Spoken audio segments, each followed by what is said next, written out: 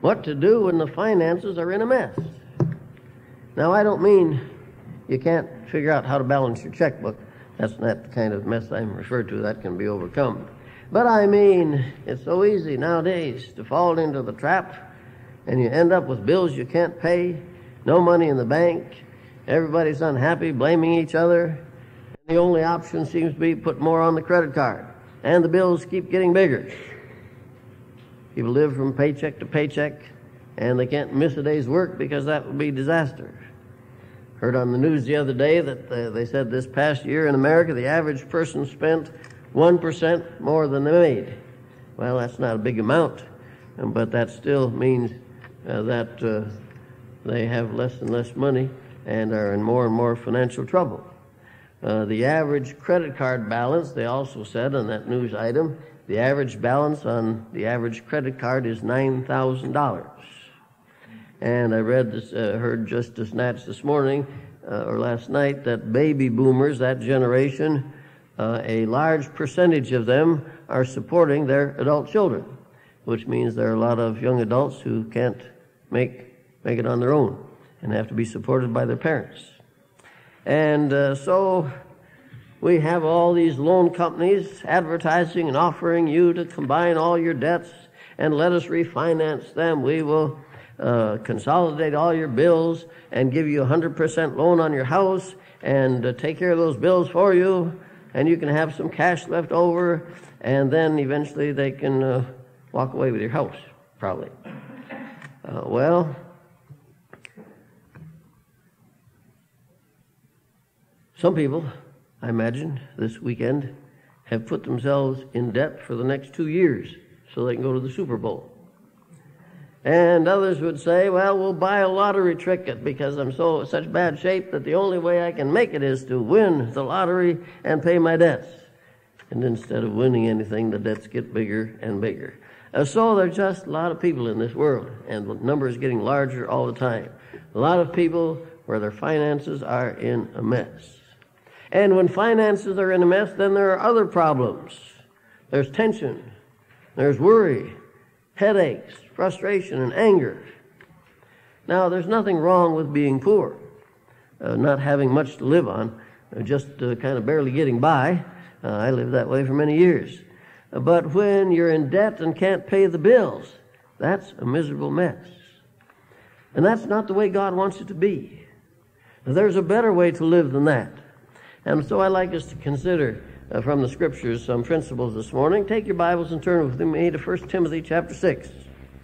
1 Timothy chapter 6, where the Apostle Paul gives us some facts about money and how to deal with it. Trust you have a note sheet. You might jot these down and give them a little thought as we find them here in the Scriptures. So, the first comment that the Apostle makes uh, shows us that money is temporary. Money is temporary. Look at 1 Timothy chapter 6, verse 7.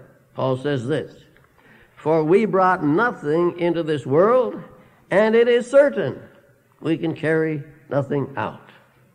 That is, whatever money we have, it doesn't last. It's temporary. I like that verse back in Proverbs. It says, Money is like uh, an eagle, it grows wings and flies away. Maybe you've seen that happen with some of your money. It does that. Uh, we entered this life without a penny to our name and we'll leave it the same way, no matter how much you accumulate in between times.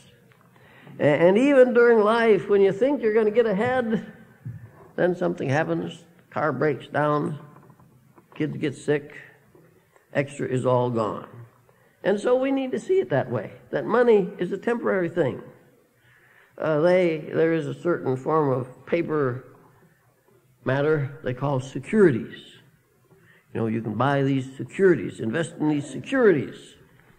That's quite a name, security. Uh, I've seen enough of those securities to know there's nothing secure about them at all. And the securities aren't very secure. Money is temporary. Remember Enron? All kinds of people had a fortune invested in it. And in a week, it was gone. Money is a temporary commodity. No matter how much you have, it will all be gone sooner or later, generally sooner, but sooner or later it will all be gone. And when you leave this world, you'll not take it with you. Didn't have any when you came, won't have any when you leave. Money is temporary, just with us for a little while. Now, there's a second principle in this passage uh, about money, and that is money does not satisfy. Money does not satisfy. Verse 8, Paul says, Having food and raiment, let us be therewith content. Be satisfied if you have food to eat and shelter for your body, clothing, place to live. If you have that, be satisfied with that. But money won't bring you satisfaction at all. How much money do we want? How much money do we need? Stories told of someone asking a rich man, How much money would it take for you? He's got millions of dollars. Somebody asked him, How much money would it take for you to be satisfied? He said, Just a little bit more. No matter how much you have, you always need more, always want more.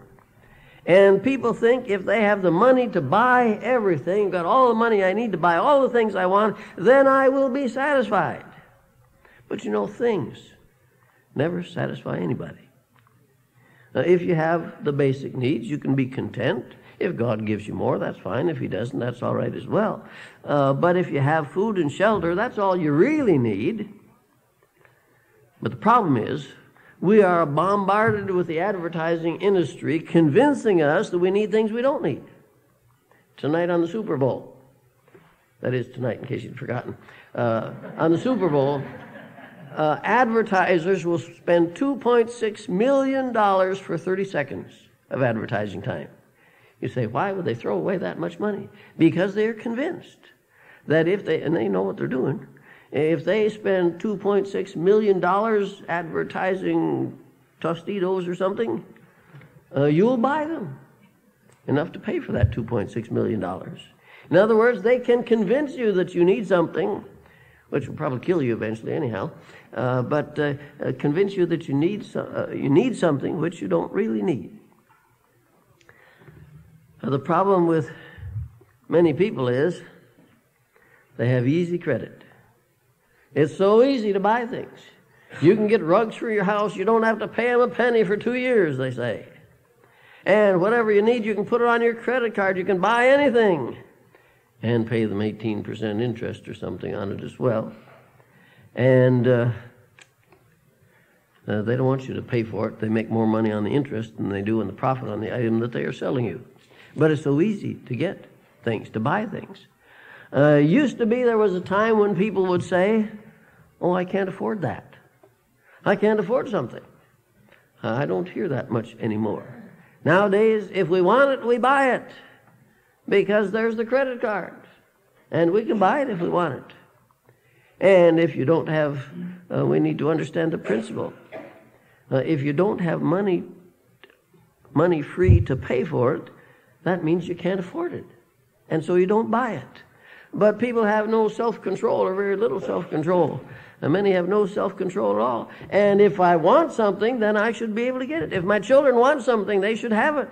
We can't say no to ourselves or to our children or to anybody else. Now, you know, God promises in the scriptures, My God shall provide all your needs. And He does that. The credit card company promises they will provide all your wants. But no matter how many wants of yours they supply, you will still want something else. Uh, a credit card uh, is not bad if you pay it off every month. But if you don't, if you are buying things you can't pay for at the end of the month, that means you are wasting money and the interest you're going to pay them, and you are courting disaster because those things tend to keep growing. And the biggest source of family problems today in America is problems caused by the credit card. People buying things they can't afford to buy. And you should have a principle in your life to never use a credit card to buy something you can't pay for. Yeah, if you've got money in the bank to pay for it and it's free in your budget uh, and you think you need this thing, then buy it and pay for it at the end of the month. But we ought to be satisfied with what we can afford. We ought to learn to be satisfied with, and make do with what God has provided us with. And be satisfied with what God gives us instead of just charging it so we can have more. Well, let's understand that money, no matter what you buy, no matter how big your credit card balances are, you will still never be satisfied because we always want more. Money will not satisfy you, and charging it will not satisfy you either. Now, there's a third principle we ought to consider, and that is that money is dangerous. I didn't say money is bad, but it's dangerous. Look at chapter 6, verse 9. They that will be rich, those who, who want more and more money or more and more things, fall into temptation and a snare and into many foolish and hurtful lusts which drown men in destruction and perdition. Those who want things, more money or things I can buy with money, oh, he says they fall into a snare, into dangerous lusts. Well, money is dangerous. And let me just outline some of the dangers that come with money or longing for money or for things. First of all, uh, money is deceitful. In the book of Matthew, chapter 13, Jesus telling the parable of the sower and the seed and uh, the different results. Matthew chapter 13, verse 22. Uh, he says this. Remember, some of the, he sowed the seed, and some of the seed sprang up, and then it was choked out by the thorns and thistles. He says in verse 22 He also that receives seed among the thorns, this is he, that heareth the word, and the care of this world and the deceitfulness of riches choke the word, and he becometh unfruitful. A person's life may become unfruitful because of the deceitfulness of riches. Riches are deceitful. That means they will trick you, they will fool you. Uh, riches will tell you, or this philosophy of having more, uh, will tell you that money will make you happy. Money will solve all your problems. If you just had more money, your problems would go away. Uh, if you just had more money, you'd be happy. Well, you know, that's just not true. That's a lie. You've all read in the paper, I assume, uh, accounts of these different folk who've won the lottery, millions of dollars. There's one man out in West Virginia, 200 and some millions of dollars. And then read what happens to those people. And the better share of them, their life ends up in complete misery. That man lost everything his business, his family, his favorite granddaughter, and all the rest because of those riches. Riches uh, can often do much more harm than they do good. And uh, he says in this verse, watch out, uh, because they lead you into temptation and a snare and many foolish lusts which drown men in destruction and perdition. They are deceitful. Think of people in the Bible destroyed by the love of money. Back in the book of Joshua, there was that man Achan who saw that gold and that silver, those garments, he would just take them for himself. He'd be rich and happy the rest of his life. He ended up losing his life and the life of his family.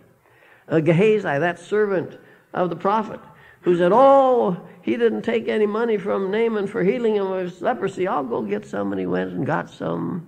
And he came back. His master said, Gehazi, the leprosy of Naaman is going to be attached to you. And he was a leper from that day till the day of his death. Life ruined by desire for money. Or Balaam, remember Balaam. His desire to get that money from Balak. And, and oh, how he longed for a house full of gold and silver as he uh, envisioned and he got the gold and silver and shortly lost his life, ruined him. Judas, selling his master for a few pieces of silver, and ended up a suicide in an eternal hell because of his love for money. Ananias and Sapphira in the New Testament are lying about what they'd given, trying to make themselves look important and hang on to their money at the same time. Both of them losing their life because of it. Oh, money is dangerous drowns men in perdition. It's a snare.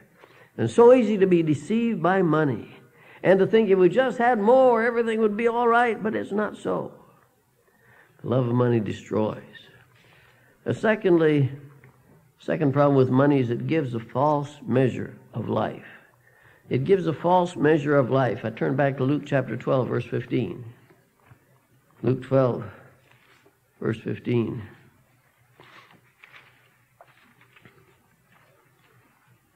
Jesus says, Take heed and beware of covetousness, that is, wanting money, wanting things. For a man's life consisteth not in the abundance of things which he possesses. Don't measure your life by how much money, how many things you have. That's a false measure. Oh, so many people think their life is measured by what they have. Oh, this is what life's all about having money, having things, a big house, a fancy car, and all those things. And if I have a lot of stuff, I'm living the good life. But you know, that's not the way you measure life. You measure life by peace in your heart and meaningful purpose to the way you live and where you're going to spend eternity. That's how to measure your life, not by how many things you have. The measure of your life is not what you have. The third problem with money is it gives you a false sense of security. In that same chapter in Luke, Luke chapter 12, uh, Jesus told the story of the rich fool who had a great crop and he was prospering and no, his crops were so good he didn't know what to do. He had so much stuff coming in. And he decided this is what I'll do. I'll tear down my barns and build bigger ones and I'll store up all these crops and I'll have plenty to live for many years. I can say to myself, take it easy, retire, live it up, live large, live the good life because now you'll have so much money. And I notice in chapter 12, verse 20, it says, God said unto him, Thou fool, this night thy soul shall be required of thee. Then whose shall those things be which thou hast provided? So you're a fool, you've got a big bank account, but tonight you're going to die and it won't do you any good at all. Money is not the way you measure your life. Money gives you a false sense of security. That man thought he had it made. He thought he had everything going his way. He was going to really enjoy life now because he had so much. No security there at all that night. He went into a lost eternity. There's another danger of money it enslaves people, makes a slave of people. In Luke chapter 16, verse 13, Luke chapter 16, verse 13, Jesus said, No man can serve two masters, for either he will hate the one and love the other, or else he will hold to the one and despise the other. Have to work for this master or that master. So he says, if you want to live for money, you can't live for God. If you want to live for God, you can't live for money. You can't serve God and money. But money will encourage you to serve money. Live for money. Live for things. And it enslaves people. You know, a lot of people are slaves to their money. They may not have any, but they're slaves to money, making more, uh, keeping track of their investments. No time for God, no time for their family. They're busy making money. And in Luke chapter 16, verse 13, I notice what Jesus says here, Luke 16, verse 13.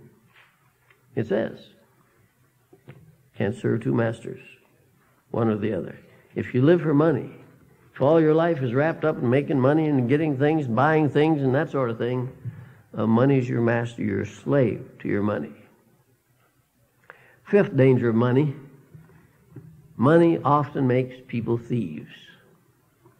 Money often makes people uh, thieves.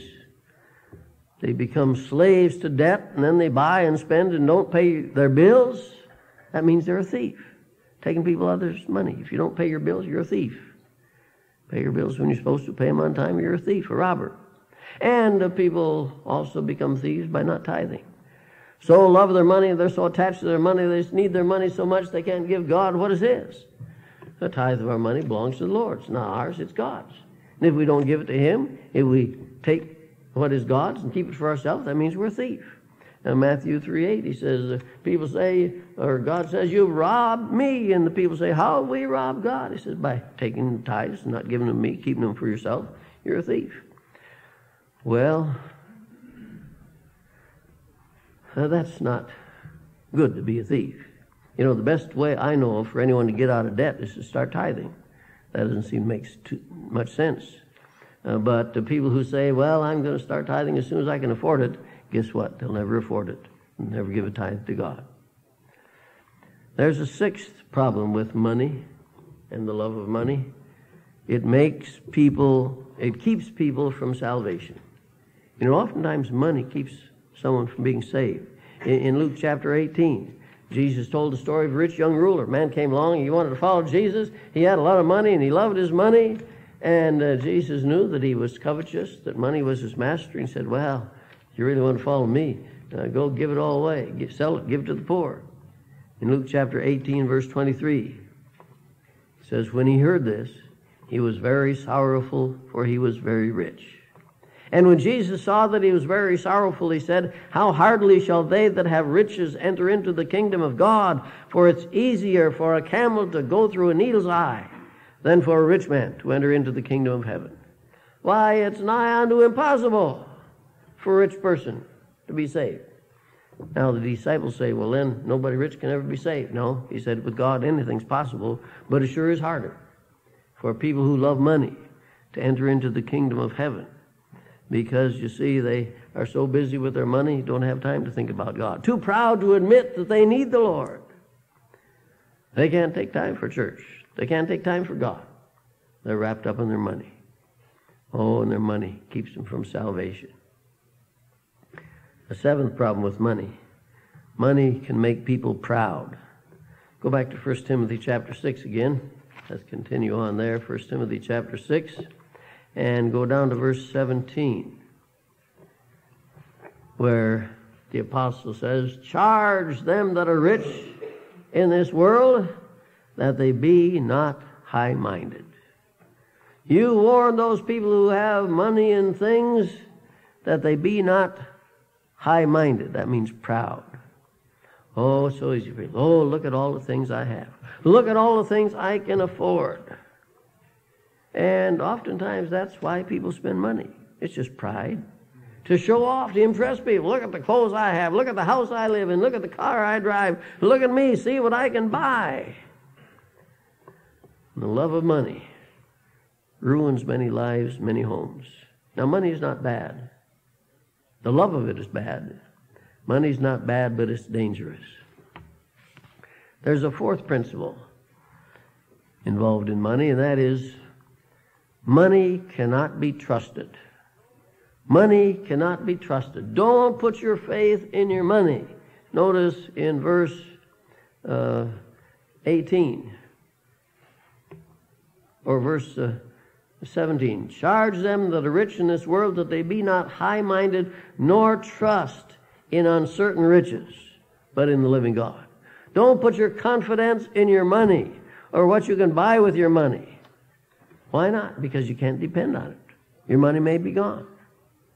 There are problems that money can't solve for you, no matter how much you have. And you need to learn, we need to learn to depend on God and not on money and the credit card. Money can't be trusted. It will not solve your problems. It will not make you happy. And it will not guarantee anything for you. Don't trust money. A fifth principle be generous with your money. Chapter 6, verse 18. He says, Warn these people who have money and things that they do good, that they be rich in good works, ready to distribute, willing to communicate.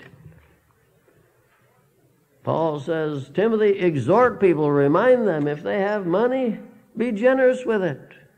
Help out with it. Do good with it. and Share it with others who are in need. Help others. No, I don't mean help lazy people. God says that's not a good idea. Uh, I don't mean give money to people that throw it away. That's not a wise investment. But when there are people in need, maybe you've got medical bills, maybe there are college students struggling to get through college, maybe there's a young couple trying to get started in life, maybe there's a missionary, Christian school student. Uh, there's plenty of needs around. And those are opportunities. If you have some, you can help. Help people. Be generous to those in need.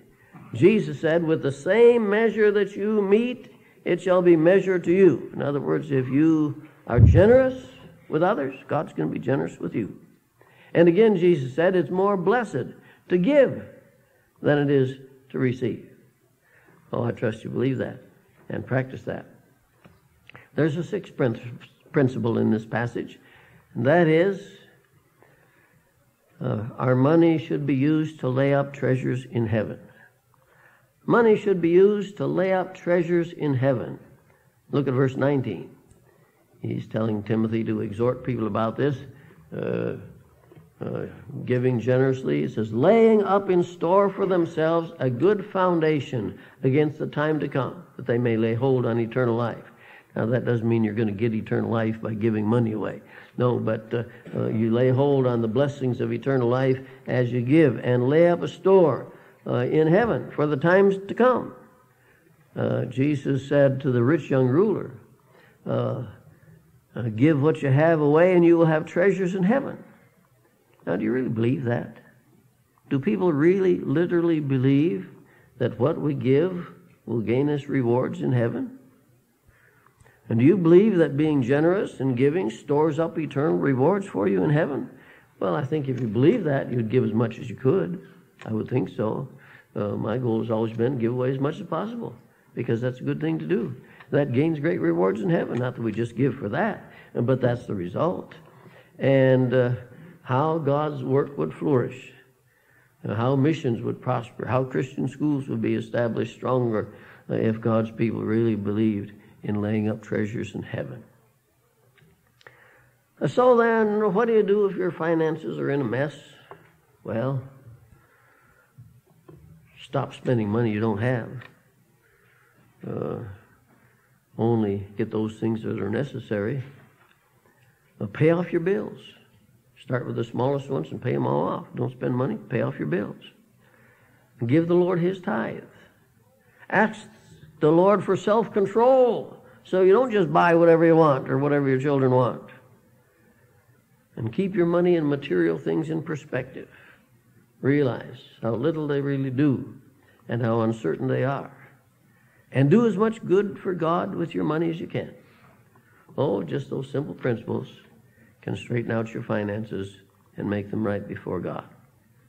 But the most important is not the condition of your checkbook, but the condition of your eternal soul.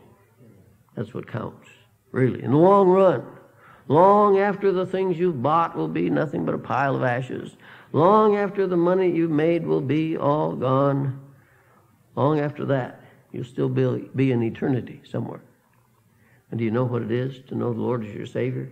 Have you been born again by a work of God in your heart? If not, you need to turn from your sins, repent of your sins, put your faith in Christ. He's the one who died on the cross to save you. And His eternal life is not something you can buy with money, but it gives you as a gift. God so loved the world that He gave. He gave His only begotten Son, the greatest thing He had, so that whoever believes in Him will not perish, but will have everlasting life. Are you saved? Are you walking with God? Are you trusting the Lord to lead you and provide for you? Oh, keep money in perspective. Use it wisely, control it carefully, and make it a blessing for others. Let's pray. Father, we thank you for your grace, your goodness. Lord, we pray that Christ might be exalted, that you might guide and watch over. We know, Lord, many of your people oftentimes are, uh, are hurting. They're just scrimping, by, getting by. Give them your grace and strength, provide for their needs, and help us, Lord, to be faithful to you in all that we have, that we might not love it, we might not uh, hoard it or covet it, uh, but use it for your glory and trust you for your provisions day by day. Uh, so bless, Lord, through these principles of Scripture, we pray in Jesus' name. Amen. Take your hymnals, turn with me to number 366. Let's realize our real position. We are heirs of God, children of the King.